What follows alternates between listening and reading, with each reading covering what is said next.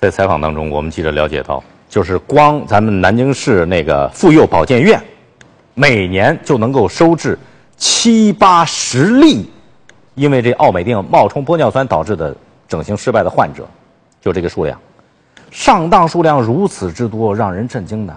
那到底是哪些机构把假的玻尿酸输入到消费者的身体里边去了呢？接着看。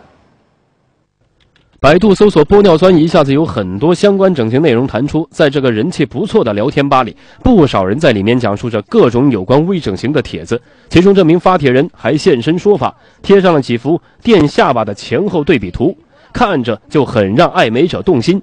但仔细一看，包括这整个聊天吧在内，都是一个美容中心发的广告帖。一般玻尿酸的不要对于注射玻尿酸的好处，这名工作人员宣传得很卖力。但是，美容中心是否有资质能进行微整形呢？就是想问一下，你们那边有什么保障啊，或者怎么那些没有？哦，这个倒没有，这个倒没有，就是包括什么协议什么都没有，因为他是不会给你签的，他们是医院的，知道吧？这位工作人员毫不避讳地说：“无资质不负责，这已经是业内的一条行规。”而在现实中，不少美容院甚至是理发店也悄悄加入了微整形行列。他们不仅无限夸大玻尿酸的作用，同时也将越来越多的类似产品，甚至假冒伪劣产品推向了消费者。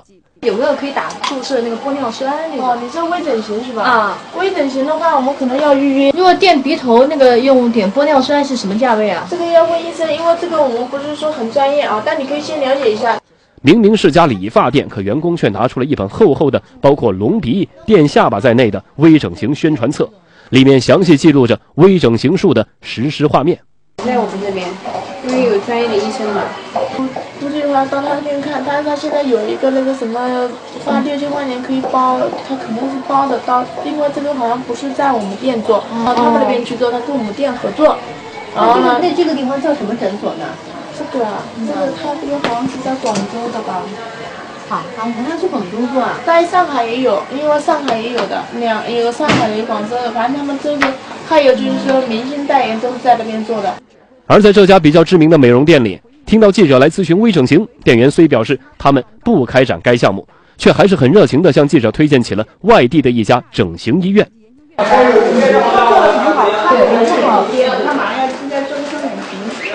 根据规定，从事医疗美容的机构必须获得医疗机构执业许可证，执业人员也必须具有执业医师资格。但面对高利润的吸引，美容店甚至是理发店也纷纷下水，做起了玻尿酸的推销。而为了竞争，注射费用一再压低。这就成为了假玻尿酸屡禁不止的根本原因。如何制止这样的乱象，在执法部门需要加大打击力度的同时，消费者们也需要擦亮眼睛，不要因为贪图便宜而上了黑整形机构的当。江苏城市。